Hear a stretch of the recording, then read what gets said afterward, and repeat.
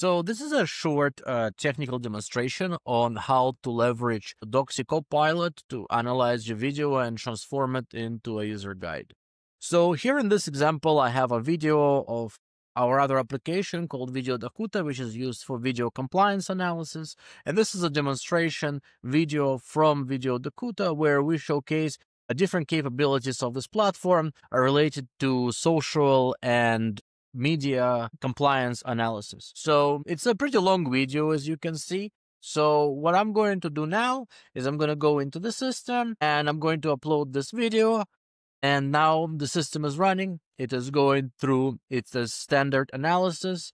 So right now what it's going to do, it's going to transcribe the video, analyze the video, identify the video and audio footage, then analyze audio footage, and analyze the video footage, and then produce user guides compiled out of a combination of video and audio footage. So it can see and it can hear and it can read everything that's on the screen. So it will completely analyze everything and then turn this into documentation. In our case, we're just creating a bunch of different user guides because this is some internal documentation of the platform for employees and it showcases to them how to use the platform. So it's a very comprehensive user guide, but all of this is controllable. So we can prompt the bot at later stages to basically generate like a proper product documentation or restructure it.